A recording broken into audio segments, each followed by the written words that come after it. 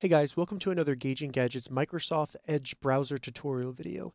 In this video, I'm going to show you how to change the default search engine in Microsoft Edge to another search engine such as Google or DuckDuckGo, anything like that. So the first thing you need to do is just simply open up the Microsoft Edge browser.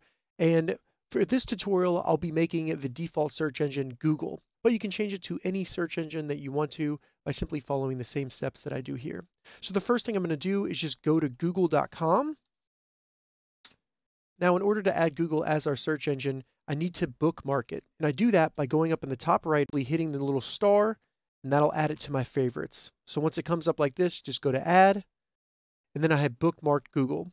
From there, what we need to do is open up the settings in Edge by selecting the three dots in the top right, and then going down and selecting settings. So select settings down here.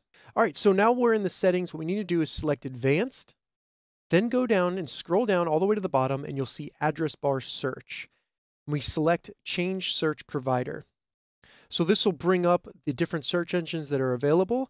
And as you can see with Google search, it says discovered because it was able to find that through the bookmark. So if you wanted to change it to something such as DuckDuckGo or any other search engine, you would need to bookmark that search engine and then you will find it in this list. So now what we need to do is select Google and then go to set as default. Now we can close the settings by just clicking out of them. And now once I've made the setting changes in the Edge browser and I go up to the toolbar up here and search, it'll search that in Google.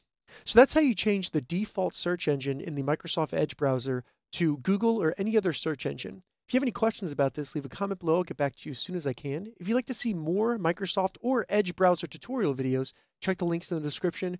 If this video helped you, give it a thumbs up, and please consider subscribing to my channel, Gauging Gadgets, for more gadget reviews and tech tutorials. Thank you so much for watching.